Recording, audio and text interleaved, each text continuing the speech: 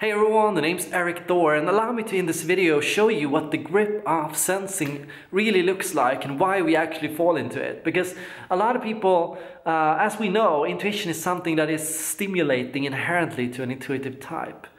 An intuitive finds intuition to be stimulating, pleasant, fun, engaging, refreshing, invigorating, energizing.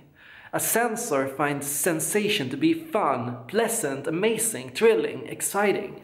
And that's the case. That's the case that intuitives and sensors are going to respond differently to intuitive and sensitive, uh, sensing thought. Uh, it's the case that intuitives are going to thrive in different environments than sensors and from different activities. It's that intuitives require intellectual discussions. It's that intuitives require to go deep on things, to process things deeply. That intuitives want to see behind the lines, to read behind what, the, what is written, to hear behind what you just said, to notice patterns uh, that nobody else has spotted to find out secrets that are often hidden from us. And that's the case. It's the case that we find sensing, to be frank, boring. In itself, sensing is hugely boring and draining for this intuitive type. Uh, we would rather not have to deal with it. So how do we fall in the grip of it? A lot of descriptions have hinted at it, but few actually understand the reason. Um, the reason we fall in the grip of sensing is due to anxiety or stress. Often, a lot of people, and this is actually very fascinating, are more driven by combating stress and by combating anxiety than they are by finding pleasant, stimulating, and enriching experiences we are many that are more driven by stress and by anxiety and it's when we are acting and responding to stress and anxiety that we are going into our inferior type. That's why INFJs can come across as ESTPs or INTPs or ESFJs that's why ENFPs can come across as ISTJs ENTJs or ISFPs it's the anxiety bubbling up taking you over fall, making you fall in the grip. And uh, it's also this that makes intuitives such interesting uh, types when in the grip of sensing because intuitive it's like this is common this is not rare this is not the result of psychological disorder it's not necessarily um, a sign of trauma in a person. A lot of people are healthily in sensing at work or in school and that's uh, just how it's supposed to be. We are supposed to use sensing at certain times in certain situations. We need to do it. All types need to have a healthy relationship to sensing. But often to find this relationship, uh, you have to get rid of the anxieties and the stress associated with your inferior functions. You have to get rid of the anxieties and the stress associated with your sensing function. When intuitives are driven by anxious sensing, anxious sensation, or stressful sensations, uh, they are going to approach sensations differently than the sensor would. The sensor ent entertains sensation with a sense of thrill or a positive mindset. Uh, usually, for a sensor, uh, the experience of sensations is in itself pleasant, fun, stimulating. But for the intuitive type, uh, sensations are more an inconvenience, a distraction, a problem that must be dealt with. It's like having to uh, deal with something because of work. It's like having to deal with something uh, because uh, out of necessity rather than out of a sense of fun or a sense of joy. So it's like it's being in this work mode. It's being in this mode, uh, this uh, automatic or this p, this this pet peeve, this first sense of frustration that uh, we go into sensing intuitives uh, that become too frustrated with the world or with reality can actually become taken over by reality and that's like it the more frustrated you are with something the more in the grip of it you are the more angry or the more uh, worried you are about something the more in the grip of it you become the more time you spend thinking about how you need more discipline as an ENFP the more in the grip of introverted sensing you become because introverted sensing is in many ways about discipline and it's the fear of not being disciplined enough that gets you to kind of fall in the grip of it. It's that sense that, oh, I should probably be more organized, I should probably uh, be more traditional, I should probably uh, be more humble. It's like those fears, those worries that gets us to really fall in the grip of these inferior functions. Without stress and without anxiety, we wouldn't be able to handle sensation at all. We would just find it boring, we'd find it draining, and we would just ignore it. But thanks to stress, we can actually do it. And uh, when an ENFP in the grip of this worry starts engaging in introverted sensing and starts becoming more disciplined, that's also when they can experience this false sense of relief, uh, this false sense of stimulation. Uh, because wow, I was able to organize myself, I was able to be on time, I was able to be more disciplined, I was able to uh, be more moderate, uh, and uh, I was able to be humble. Uh, that gets a temporary relief of that anxiety or that sense of stress.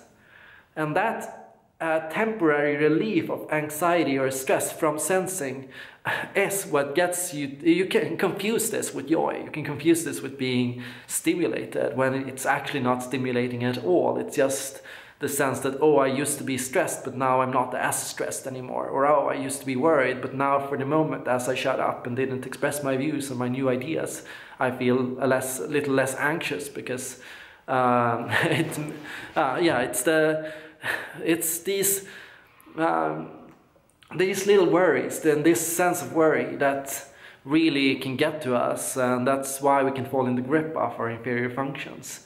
Often what I would advise is to make sure that you acknowledge because these anxieties can be real it can be out of a preservation instinct. Uh, sometimes we do have to shut up and uh, hide our views or creativity to make sure that the group doesn't uh, cut us off. Sometimes we do have to uh, uh, ignore our ideas and uh, do what everyone else does. Sometimes we do have to uh, be more disciplined. Sometimes we do have to be more organized because that's what work and the situation of uh, life to, in the moment demands of us. And uh,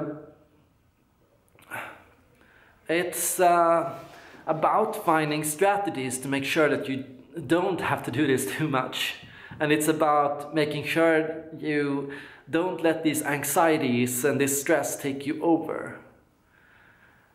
You can recognize this anxiety when it comes up, and you can tell yourself that, oh, I'm actually worried about uh, other people laughing at my new ideas. Uh, oh, I'm actually uh, frustrated with uh, constantly having to uh, adjust and not being able to work on my own ideas. Uh, it's by acknowledging this frustration or this fear that you can actually be aware of your problem and your issue.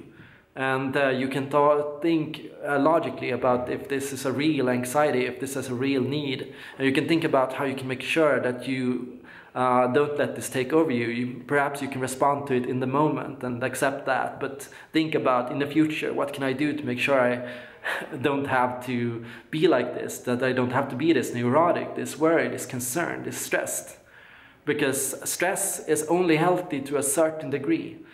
Uh, stress can help us reach our goals uh, but after a certain extent, it can be really deeply unhealthy. After a certain extent, anxiety, while it can give us a sense, the ability to deal with our problems, sometimes we have to be aware of our emotions to deal with them. If it becomes over a certain level, it can actually cause deeper traumas and if deeper issues in us. And uh, it can cause us to become more irrational and to act out more in anger or in fear. I tend to say what an INFJ who is uh, anxious and overwhelmed looks like. It's uh, they are easily frustrated, prone to mood swings, restless, and constantly in this tense state. Uh, and it's only by letting go of that relaxation, by of that stress, of that anxiety, of that anger, yes, anger can be an anxiety as well. It's another form of sensitivity. Uh, that you can become better in touch with your intuition. Of course, that's a key here. Uh, becoming actualized is by identifying your habits, what you love, what you want to do, what your passion is, and by pursuing that.